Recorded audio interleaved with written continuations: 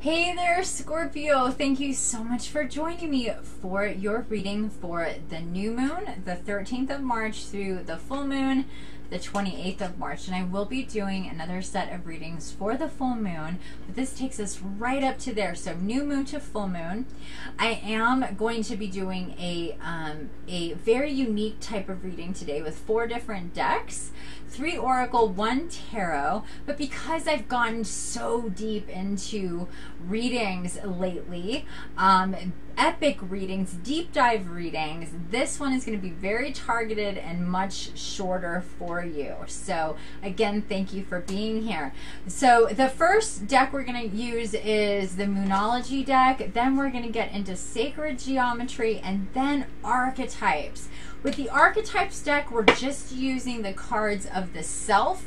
So the deck is usually about that thick and we're just getting into a piece of it, just the self. So this will be the part or aspects, the archetype, archetypal self of us um, in this reading that is the the aspect that needs the most attention during this time. That's really gonna um, something to pay attention to um, about ourselves.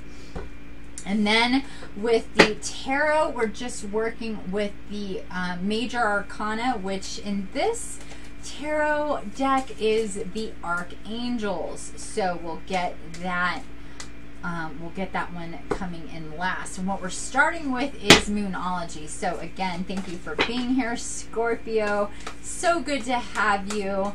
Um, and if you're not familiar with me, if you're new to my channel, I'm Infiniti. I uh, medical medium, psychic, physical, empath.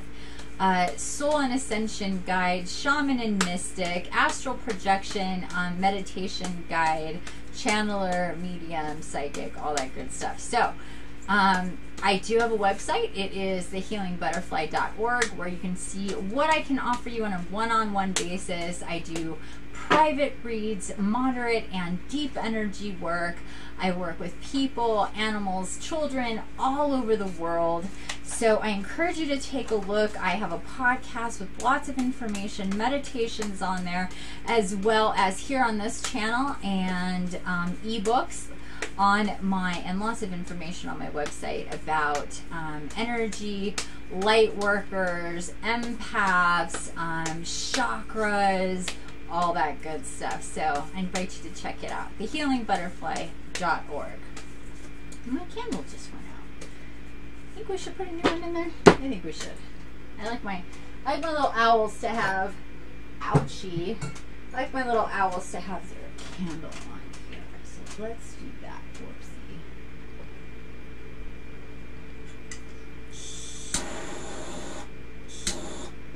There we go. Now that's good. I'm happy now. Okay. Scorpio. Oh, looks like we got our card just dropped right out. Let's see what we have here with this Munot. Interesting. Same card we just had for Libra, your commitment is being tested.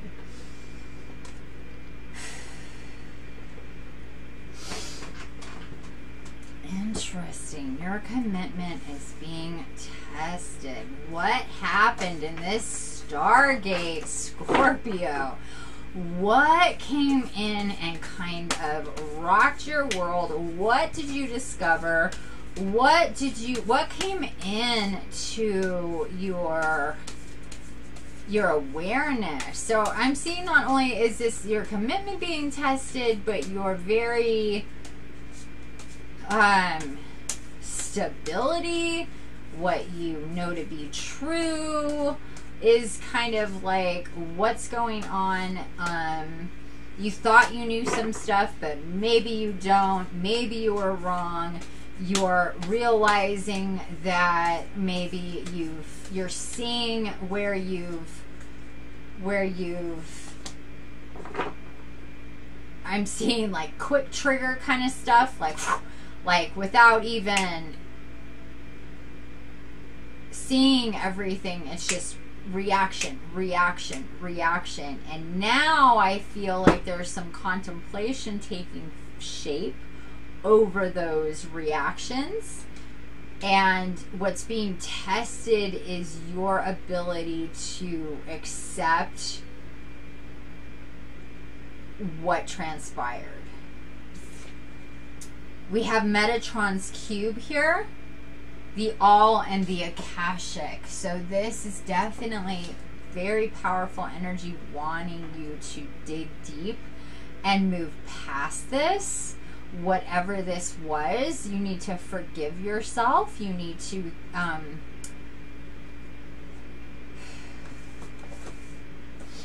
not be so preoccupied about um,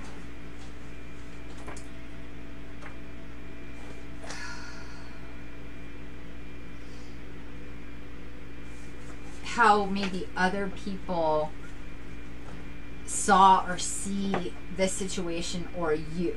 This is about you and you. this is about being real with yourself um, and and your um,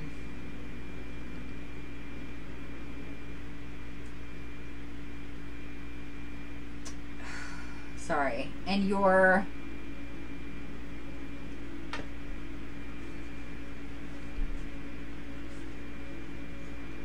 your ability or inability to acknowledge your own feelings and reasons for behaving or thinking or feeling the way that you do or the way that you did and how I can really work my my my phone, I swear.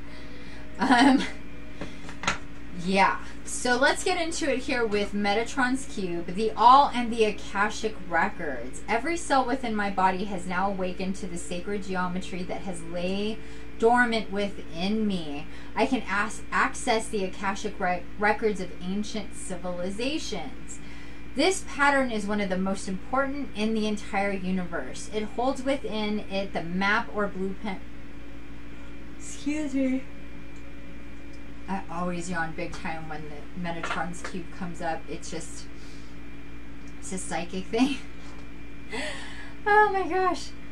Uh, within this geometry are all five platonic solids. It has been drawn today as you are ready to activate the sacred geometry that lies deep within your cells. It is time to delve into the sacred knowings of the ancient civilizations and the Akashic records to create the energetic shifts that will allow you to enhance your life path and all who cross your path.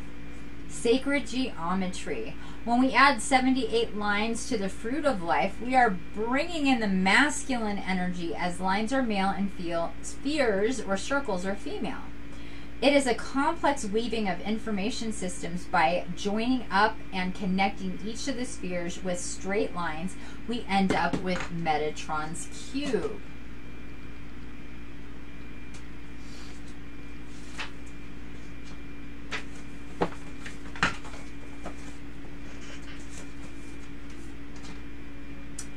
Within this pattern, we are bringing together duality, male and female, yin and yang. Metatron is an archangel in charge of the world. Metatron was one of two human prophets who was rewarded with ascension into the archangel realm.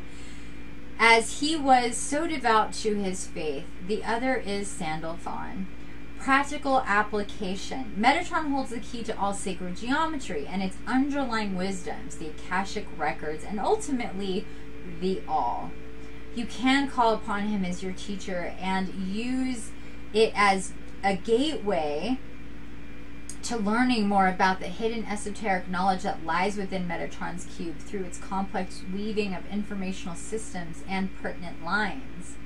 Metatron can also be called upon when you're in need of some healing and clearing. Remember, the cube holds all, all five platonic solids from which all life forms are created. They are the building blocks of life found within everything. Our awakening is imminent to survive the ever changing shifts and vibrations of our planet.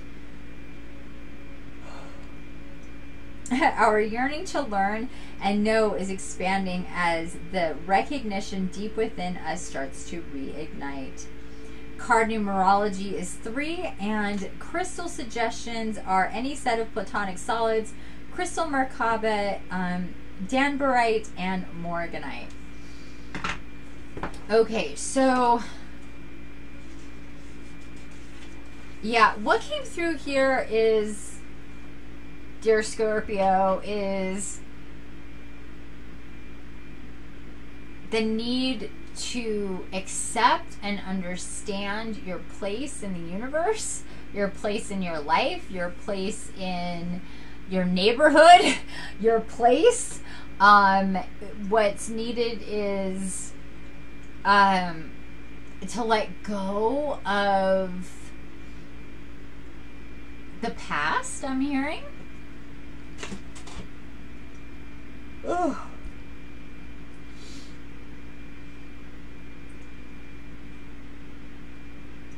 Forgiveness. You need to forgive yourself first. And there's definitely healing and clearing of energy that needs to take place. And Metatron, his cube, sacred geometry, inner knowing, um, releasement is definitely something that needs to happen. Um, really, really connecting with Gaia, Mother Earth, is necessary. Like, if you can get in your car and find a place in the desert or by the beach or in the mountains where there's, you know, it's not around people and you can just really connect with Gaia um, or work with people who are very connected with her to help connect you. I'm one of those people, by the way. I channel her. She works with me in all of my healings. I highly recommend, um, you know, just being guided to Gaia, to her inner knowing. Please check out my latest. All of my meditations feature her front and foremost. She's the one who really works with us, designing um, our meditation, my medit. Whoa, kitty. That's Gypsy. Um, animals, animal connections. Uh, whoa. Again, this card keeps coming. Speak into light workers here. The Mystic card. This card, I think, has come up now three times. Interesting. I'm kind of feeling like you maybe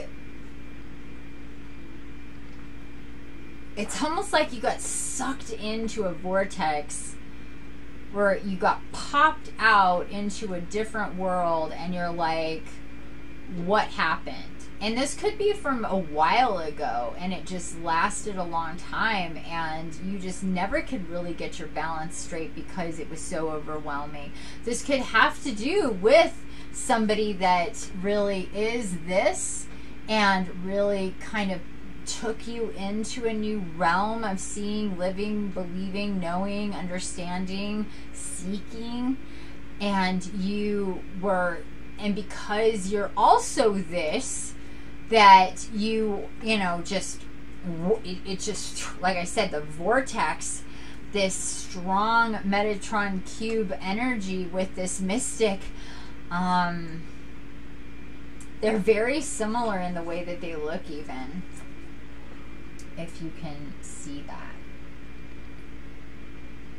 If it doesn't pop for you, it doesn't pop for you. But I see real similarities here with the lines. Um,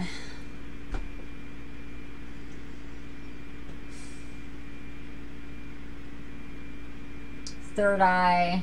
Akashic records, past lives, connections to soul, soul family, soulmates, you not being able to really handle the complexities of energies that we're filtering through.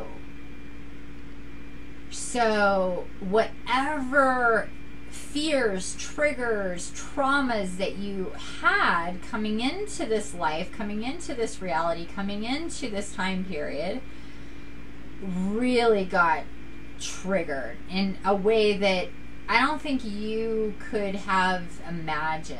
And they're continuing to be triggered, I'm hearing. a lot of clearing, a lot of healing, a lot of deep diving energetically. Cord cutting is in order to reset energies.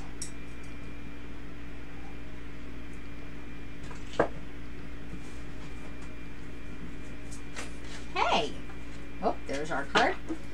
We need to balance again. Get in, and this again is kind of like in a way that you've never been, I'm hearing. Like, astral balancing, ast- like really going into meditation, really working with archangels, with Metatron, really surrendering because it's been all about control all about like if if the sh- chariot shows up here i wouldn't be surprised because i feel this like the need to control the chariot without being with wanting to be separate and not wanting to be one with it.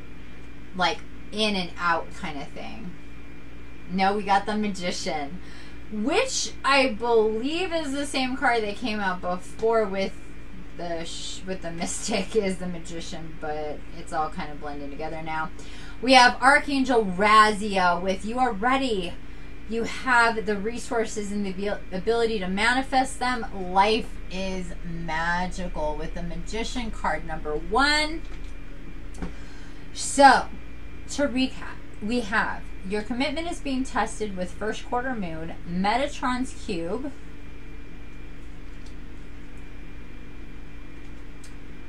the mystic and the magician. so, lots of very intense metaphysical, spiritual energies coming in here. Um, this magician and the mystic, practically one and the same thing. Being told here, really see these energies as very, very similar here with the magician and the mystic. This is about opening up to yourself, to the possibilities, to starting in a new way, to connecting to the divine, to accepting spiritual help and guidance.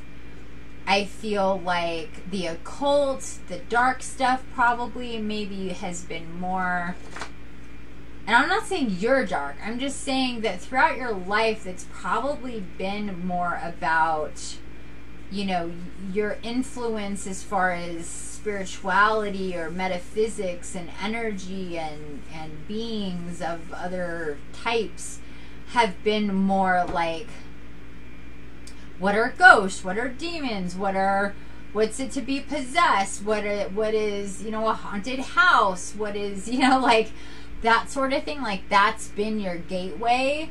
Um, and it's really brought in a lot of darker type energies that can influence a, a natural magician mystic light worker away from the light and to really seeing and and and kind of coming from that those darker energies that you just you know and and I'm seeing that your circumstances, your relationships, possibly, you know, there there could have been a lot of circumstances with um, mistrust, unfaithfulness, or or um, you know, being um, addicted, having influences, um, maybe with uh, alcohol or drugs, things like this, gambling, money issues, possibly, and and even though there's been like you've been able to Okay, how to stop in the video. So we're going to pick right up here, Scorpio. So what I'm seeing here is like, even though there's been like, you know, possibly these things, these things in your life, um, that you have been able to overcome a lot of that. But the sticky residue, the energy that's attached to that. So let's say you had a gambling problem, but you you got over that, you stopped that, you're past that but the fear, the anxiety, the very energy of that, of everything connected to it, is still in your body. So, same thing if you had a um, a relationship with somebody that that ended in a lot of grief or um, a situation that was very hurtful to you at some point in time or really brought up past hurts or abandonment issues or jealousy or anything like that like everything is amplified because there's so much power in you to manifest to heal to to do alchemy to change energy.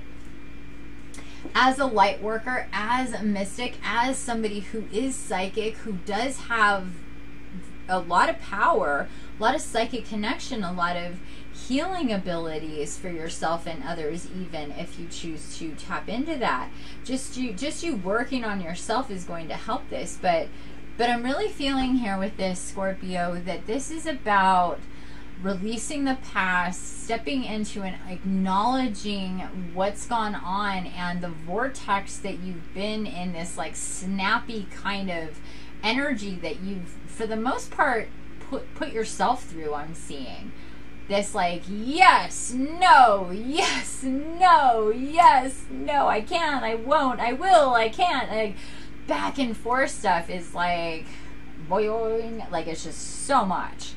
And and it feels like over and over your commitment was being tested your ability to to to, to stay in it to to be a part of whatever this was was just constantly being tested with your past issues triggers energies within the body that that because of this whatever person vortex situation circumstance that you that you got in alignment with and i feel that it was very um you know uh, soul mated very kismet very you know this is this was not a circumstance that could really be avoided. It was meant to happen. You were meant to go through this transformational time.